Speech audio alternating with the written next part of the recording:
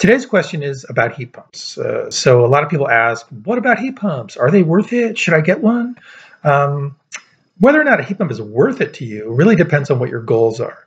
If your goal is to save money, then a heat pump is going to be worth it to you if you use expensive fuel like oil or propane or kerosene. Um, typical family in Vermont using oil can save around $600 a year by offsetting um, their oil use with a heat pump. If, uh, if you use a less expensive fuel, like natural gas, then a heat pump might be a great way to offset some fossil fuel use, um, to lower the global warming potential of your heating system, and to add central cooling. So in that case, it might be worth it. Um, if you have a solar system on your roof, uh, you can generate uh, during the summer enough power to operate your heat pumps all winter long. So in that case, it might be worth it.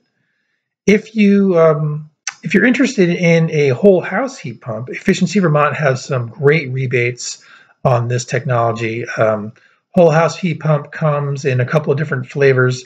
Uh, one of them is a ducted heat pump, which is installed in the duct system of your existing hot air furnace. Um, that gives you a way to offset some fossil fuels uh, for heating and to add central cooling. So that's a great system. If you're interested in air to water heat pump, we've got great rebates on those too. Air to water heat pumps make low temp hot water. So great for use in uh, radiant heating or with low temp panel radiators. Um, not so good for high temp baseboard.